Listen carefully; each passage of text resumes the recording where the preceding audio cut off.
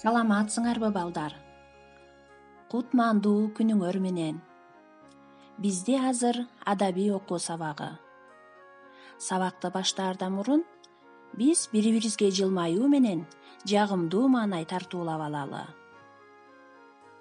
Бири бирибизди карап жылмаябыз биз ар дайым жакын адамдарыбызга досторубузга жылмаюу тартуулоо менен маанайын көтөрөлү себеби ар дайым жылмайып жүрүү өмүрүбүздүн узак болушуна шарт түзөрүн унутпашыбыз керек.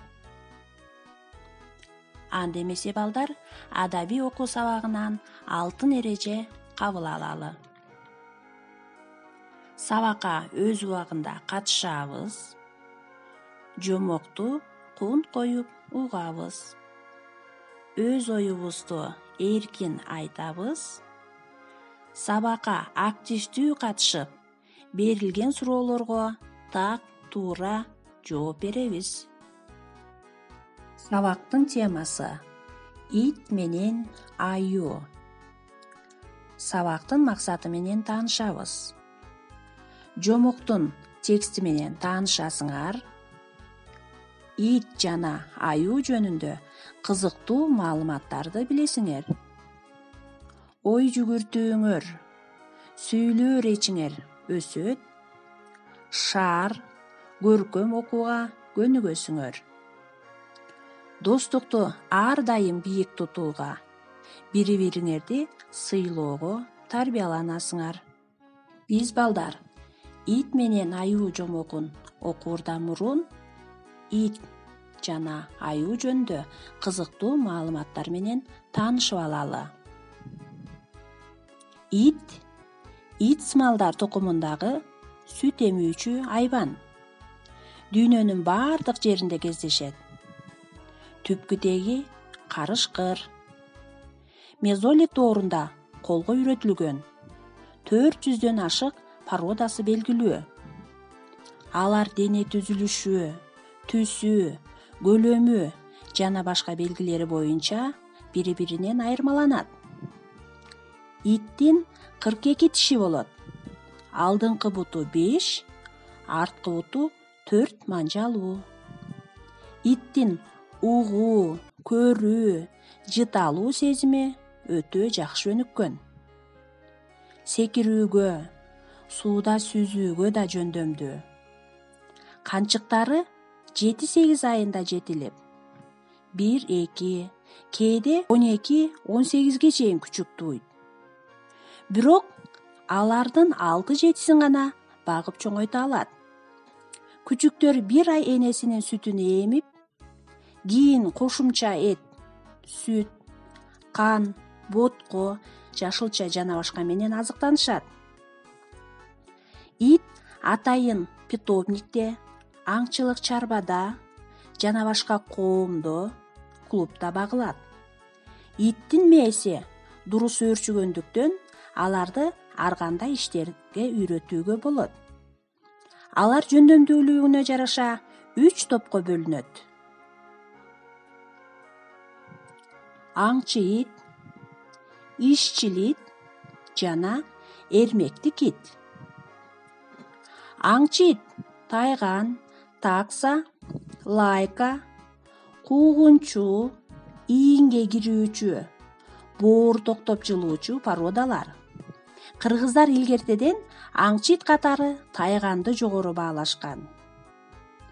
Ал эми ишчил ит бугу баштуу лайка пудель чегилме иттер кавказ чыгыш европа жана түштүк орус карышкыр ити а эрмектик ит француз бульдогу япон ити кандек шпиц породалары ит кутурма котур чакалай сыяктуу жугуштуу жана мите курттуу ооруларга чалдыгат.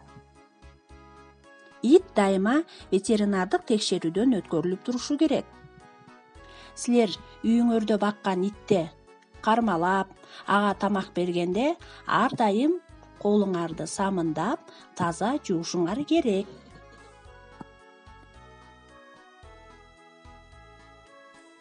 Эми балдар аюу жөнүндө кызыктуу маалыматка көңүлүңөрдү бурам аюулар негизинен бийик тоолорду мекендейт аюулар кыргызстанда өрөөндөрдөн башка бүткүл территорияларды ээлейт. Аюулар жашаган жерлер белгилүү. Тескей жана күнгөй ала тоо нарын ат башы талас чаткал фергана алай жана заалай сыртындагы тоо кыркалары кыргызстандан тышкары казакстан өзбекстан тажикстан кытай индия пакистан жана афганистанда кездешет. Суткалык жашоо тиричилиги даана бөлүнгөн эмес. Эртең менен жана кечкисин азыктанууга чыгат. Туруктуу сезондук көчүүнү аюулар жасашпайт. Белгилүү гана жерлерде болот бирок тоют издеп же бир нерсени кууп убактылуу башка жерлерге көчүшөт. Жашоо тиричилик өзгөчөлүктөрүнүн бир кызыктуу жагы анын кышкы чээнге кириши. Адегенде анча терең эмес кышкы уктоого кирет андан кийин кыштын жарымына жеткенде алар бара бара катуу уктоого өтүшөт көбүнчө кышкы иинин жардын же зоолордун жаракаларына салат декабрдын аягында январдын башында аюунун ининде мамалагы туулат мамалагын алты ай көтөрөт мамалактарынын ар биринин салмагы беш жүз граммдан ашпайт. Мына балдар биз ит жана аюу жөнүндөгү кызыктуу маалыматтар менен таанышып алдык. Анда эмесе биз азыр элдик жомок ит менен аюу деген жомок менен таанышабыз. Кунт коюп угабыз. Аюу менен ит дос болушту. Бир күнү итке қана досым шейінге кірелі қыш кіріп келді деді айо. ой чейін дегенің емне? деді ит таңырқап. Екеуміз үңкірге кіребіз қыштай қоңырық тартып ұқтап жатабыз жазында чейінден шығабыз